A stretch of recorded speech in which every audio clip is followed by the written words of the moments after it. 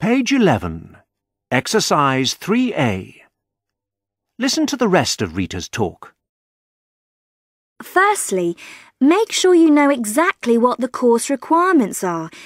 You know, how many pieces of work you have to complete by when and all that. One way of doing this is to get a diary or a wall planner, something that will help you set the year out visually, so that as term progresses, you can see at a glance how you're getting on.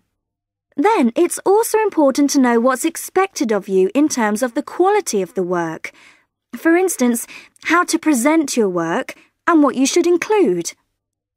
It's a good idea to get hold of some previous students' work that has got high marks. Read it and think about why it was good. If you can't find any in the library, ask your course tutor. Don't be shy. These people are there to help you, and it's their job to make sure you know what you're supposed to be doing. Finally, once you know exactly what is expected of you, you should start to set yourself deadlines and learning targets. These have to be realistic. Try to do too much too soon, and you'll just be disappointed when you fall behind.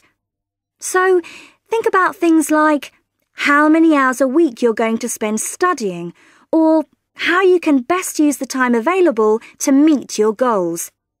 I always find it useful to build in a safety margin. Things will sometimes take longer than you think, and you don't want to end up feeling you're always under pressure to catch up.